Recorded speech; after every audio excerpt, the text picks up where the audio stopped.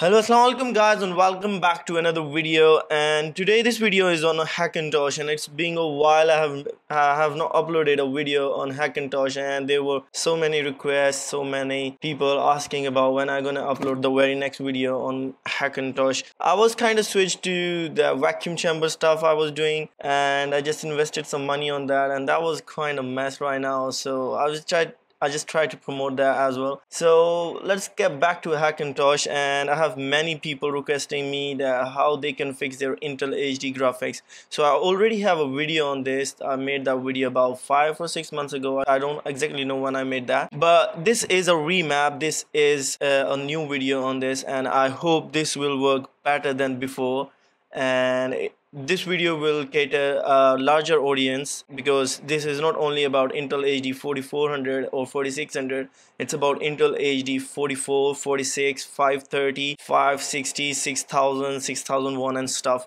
And this stuff came in my mind when the Clover configurator makers updated their Clover configurator and added a huge amount of settings in it. So let's start with the video. And the first thing you need to do is you need to download the latest Clover bootloader and after downloading the latest clover bootloader right now it's i think 4061 so you can download the latest one if you're watching this video in some later time.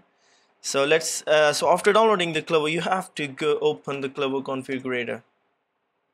And after that you have to mount your EFI I. Already showed you how to mount your EFI in the previous videos as well and one more thing I just forgot to mention before is that you must have a proper HDMI or DVI or DisplayPort connection with your monitor. So if you're trying to uh, enable your Intel graphics with VGA graph uh, VGA port, that won't work that nice. And if you're trying, and even the DVI is getting obsolete, so you should better move to HDMI or DisplayPort. And right now the connection I'm using is DisplayPort it's kind of latest and you can see here. And right now I'm having a problem with my Intel graphics. That's not due to something related to the graphics but it's due to the monitor I have. This is a direct drive monitor which means it sends two types of signal to the motherboard.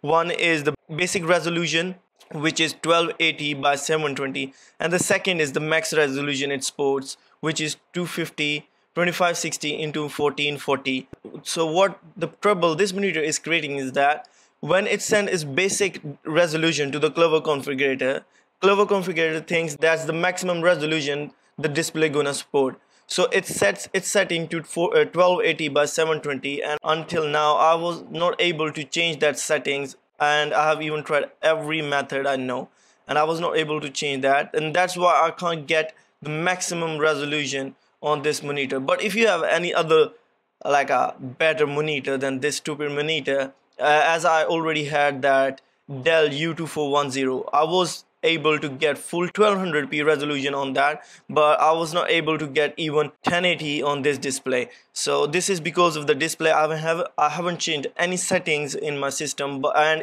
even I connect the older monitors that work really nice with this. They get their full resolutions from this Intel port and even I was able to use two different uh, monitors on this Intel graphics but this is troubling up the display I'm using right now this HP ZR2740W because this is a direct drive as like you can say this is a cheap one cheap model for a 2k monitor and I'm gonna sell it soon. So let's switch back to the topic I have went so far. So after mounting your hard drive you have to go to home you have to click this config.plist down here if it's not clear to you. Zoom back go into graphics click load vbios inject Intel.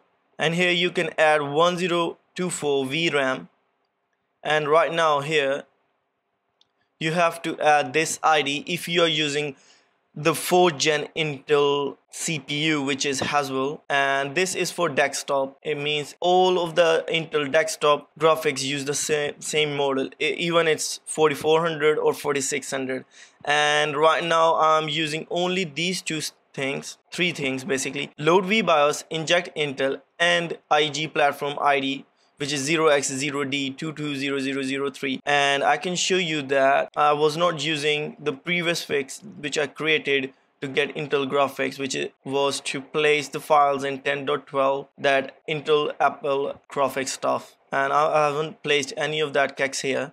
I'm using basic 4 kext right now and I'm getting the Intel graphics working and to let you people like clarify to cl just to clarify I will show you a small uh, benchmark stuff of that Tomb Raider game I played on that Intel graphics. So to clear that I'm getting the full Q I and E what you call it full acceleration stuff. And we will go to the graphics section now and you can see the settings Uh, I will go to the advanced section and I will set everything to normal normal normal. Shadow resolution normal. Anti-aliasing to get it low man. Like 2 is good for Intel graphics and everything is normal. Two settings are at high and we will apply the settings. We'll close this. Go back. Oh I will see if I will check that. There is no there is no frame per second barrier. And we will go back now. Close. Benchmark. So I will fast forward with the benchmark for your A so you don't have to watch all of this but let's do the benchmark at least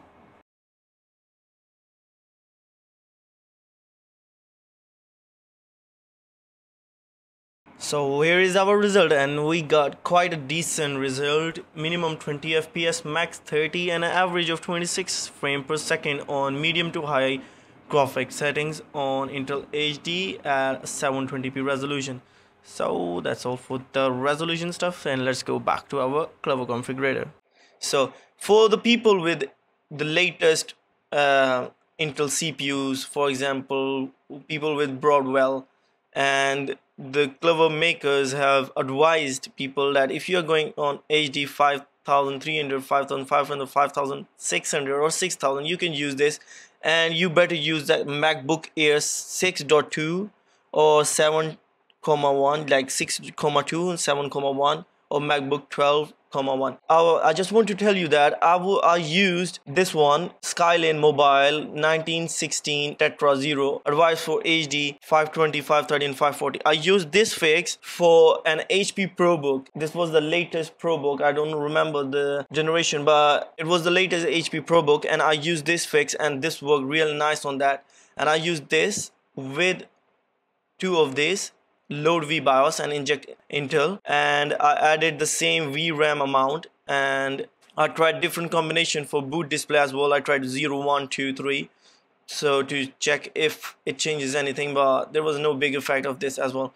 So this was for this and for people with Broadwell they can go with this if they are on Broadwell. Oh let me go here. And this one. I already told you that that's advised and what they have. And if the advice thingy does not work for you you can try different combination as they has already provided it. Because many different systems many different cpus come with various kinds of updates or modification or verification. And if we go back with haswell mobile you can use this one and for the Ivy Bridge desktop. And I have seen that people with desktop have higher amount of success with these fixes than people with laptops because desktops are kind of more easy to run than a laptop. And same is for the Ivy Bridge and goes back to the Sandy Bridge. And remember use this MacBook Pro 8.1 with this and that's why they have advised if you don't use it the SM won't load the right text and drivers and the fix won't work then. So that's all for the videos guys. Thanks for watching. Hope you liked it. Hope you enjoyed it. And if you have any other question please throw it in the comments below and like share and subscribe. That's the red button right under the video. That's it. Thanks again. Hope you liked it. Hope you enjoyed it. Until the very next video please take care. Allah hafiz